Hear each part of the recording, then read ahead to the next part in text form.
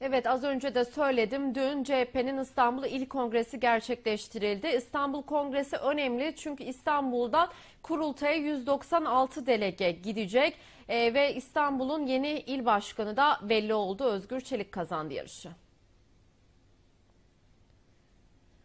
Sabah saatlerinde başlayan kongre gece saatlerinde sona erdi. Eski İstanbul İl Başkanı Cemal Can Polat 310 oy alırken Özgür Çelik 342 oyla il başkanlığı yarışını kazandı. CHP İstanbul İl Kongresi'nde il başkanı seçilen Özgür Çelik zafer konuşmasında yeniden İstanbul'u kazanmanın başlangıcı, tüm Türkiye'yi kazanmanın başlangıcı dedi.